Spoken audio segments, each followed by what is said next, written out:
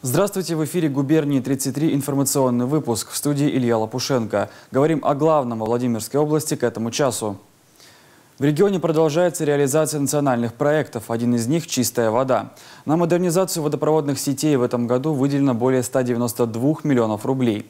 Об этом сегодня на пресс-конференции сообщил заместитель губернатора области Роман Гадунин. Всего в этом году модернизируют 7 объектов водоснабжения в Киржаче, Петушках, Гороховецком и Меленковском районах. На сегодняшний день, по данным регионального управления Роспотребнадзора, чистой питьевой водой обеспечены 89% жителей области. К 2024 году этот показатель планируют увеличить.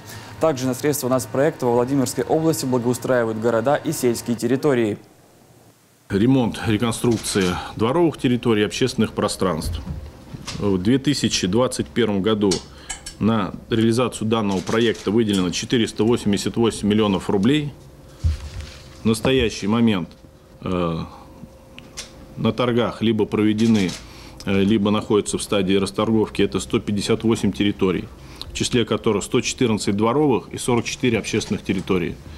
Э, в национальном проекте и в программе участвует 31 муниципальное образование – по национальному проекту «Экология» к 2030 году в регионе планируют наладить переработку 50% всех отходов. В этом году на главных полигонах в Маринке, Муроме и в районе деревни Бабанина Петушинского района хотят построить мусоросортировочные станции. На них будут перерабатывать до 40 тысяч тонн отходов в год. В дальнейшем на полигонах в Маринке предусматривается строительство комплекса обработки отходов с глубокой переработкой. То есть объем инвестиций – это серьезный такой комплекс. Объем инвестиций, там под 2 миллиарда у нас практически. И, наверное, вот в мае месяце планирую журналистами, э, с общественниками съездить в какой-то регион, посмотреть, что это такое. Потому что мусорная тема, она всегда вот где-то у нас витает, мы все ее боимся, там рассказываем о ней. Но обращаться с мусором, как я говорю, до сих пор мы не умеем. В селе Булатниково открыли новый модульный ФАП. Его построили в том числе на средства национального проекта здравоохранения. Пациентов теперь будут принимать в шести кабинетах, оборудованных по последнему слову техники. Раньше жители трех населенных пунктов приходили на осмотр к фельдшеру в детский сад. Медпункт работал в одной из групп дошкольного учреждения. Подробности в нашем материале из Муромского района. На часах 7 утра. В первый день работы нового модульного ФАПа Наталья Манькова на смену пришла пораньше. В числе первых пациентов Татьяна Кузнецова. Женщина жалуется на слабость. Самочувствие ухудшилось? Да. Вести прием в новом ФАПе смогут и узкие специалисты. Один раз в месяц они приезжают из районной больницы. Для этого в здании предусмотрено 6 современных кабинетов. Каждый оборудован по последнему слову техники. Данного оборудования на прежнем ФАПе не было. Это обогревающее одеяло, это дефибриллятор, который позволяет спасать жизнь в кратчайшие моменты. А, также у нас появилась лампа для обогрева младенцев. Местные активисты хотят благоустроить территорию рядом с ФАПом, посадить здесь кустарники и разбить клумбы. Валь, давай посеем сами. Да, давай, у меня есть семена, но не хватит. Ну сколько хватит, да можно набрать у населения. Главный врач Муромской районной больницы энтузиазм местных жителей понимает. Люди давно мечтали о современном ФАПе. Почти 20 лет пациентов из села Булатникова и еще двух ближайших деревень фельдшер принимала в детском саду. Ну вот вы слышите, да, детские голоса.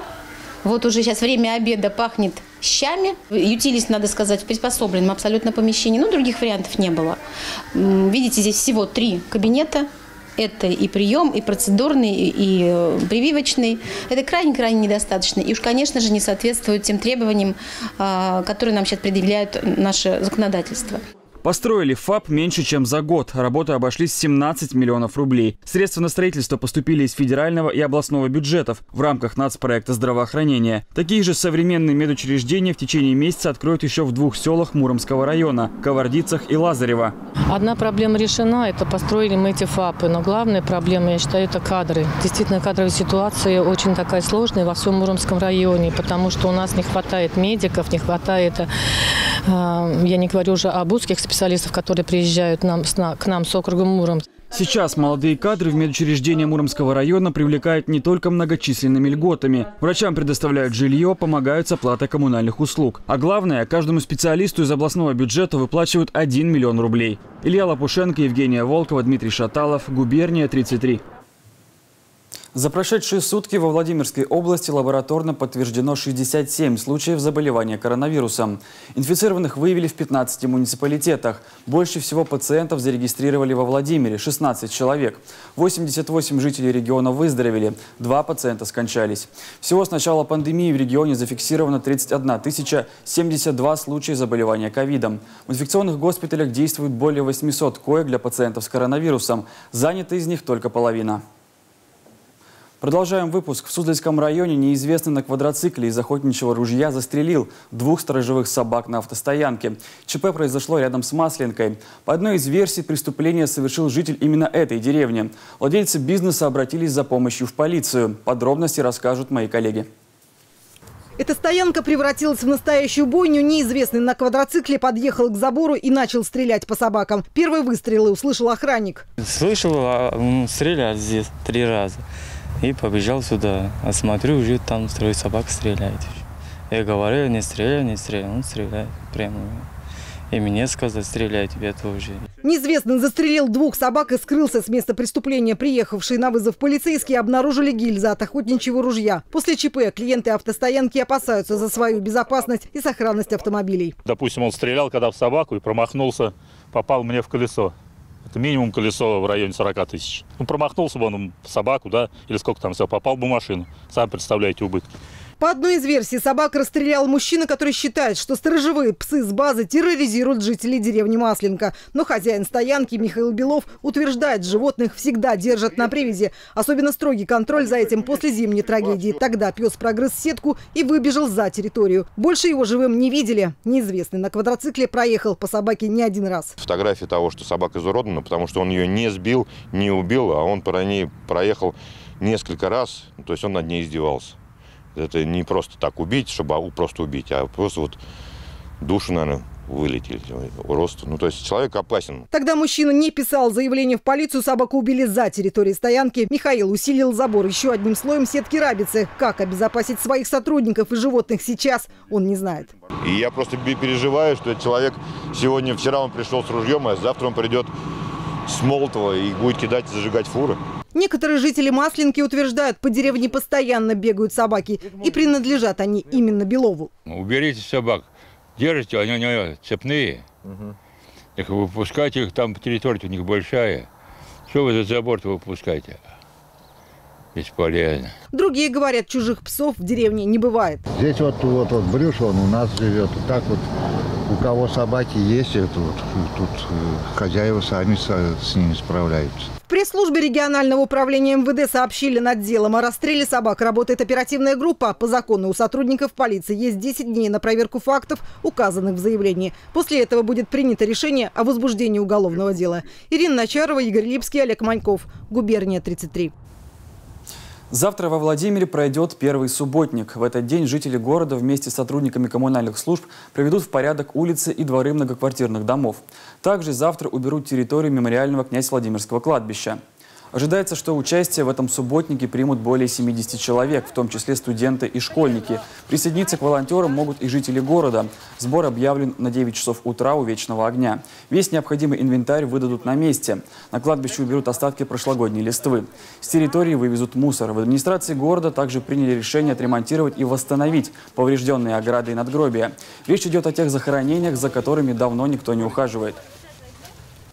О кризисе семейных отношений на повышенных тонах. Впервые во Владимире поставили спектакль по пьесе Ивана Вырыпаева, одного из самых провокационных авторов современной драматургии. Постановку назвали, как и пьесу «Солнечная линия». Проект имеет строгое возрастное ограничение 18+. Эксцентричный спектакль о жизни без прикрас посмотрела моя коллега Наталья Забнина. Ты хочешь ребенка? Да, Барбара, что в этом такого удивительного? После 7 лет брака я хочу иметь ребенка. Что там странного? А то, что мне уже поздно. Сочные апельсины – образ переспевших семейных проблем. Аскетичная кухня настоящего бойцовского ринга. За... Я очень рад, что в 5 часов утра мы пришли к полному непониманию Барбара. Ты одна испытываешь боль, а другие нет В центре пьесы диалог семейной пары. Барбара и Вернер в браке 7 лет, у них нет детей. Только долги, претензии и упреки друг к другу. Эмоции актеры выражают грубо, присутствует даже ненормативная лексика. Но для автора пьесы Ивана Вырыпаева это лишь виртуозная словесная игра. Это же русский язык, мам. Это часть русского языка, часть культуры. И на сцене, ну, ведь люди боятся самих этих спектаклей, в которых чаще всего бывает мат. Ну, то есть есть спектакли, которым не поможет от того, что ты из них мат убрал, они все равно оскорбляют. Ну, а есть спектакли, ты приходишь, там так говорят красиво в костюмах, что лучше бы они матерились, правильно? Солнечная линия – попытка показать семейный бытовой конфликт. То, с чем рано или поздно сталкивается любая пара. Режиссеру спектакля пьеса популярного драматурга оказалась по-своему близка. Это мои какие-то наблюдения, мой личный опыт, потому что я это проживал несколько лет назад, например, такую ситуацию.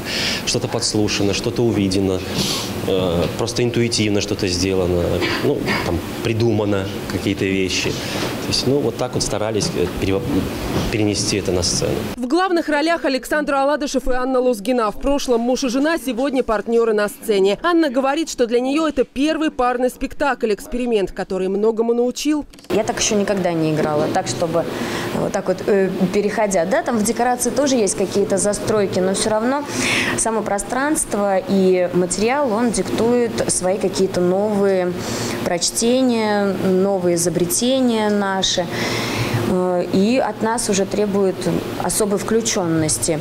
Роль сцены в этом спектакле выполняет креативное городское пространство. Даже мебели Таня Бутафорская, а зрители, словно соседи, случайно подслушали семейную ссору через стенку. Именно этого эффекта и добивались актеры. В обычной жизни люди тоже постоянно меняют маски. И то, что там иногда мы слышим, совсем не укладывается с теми людьми, которых, с которыми мы утром здороваемся.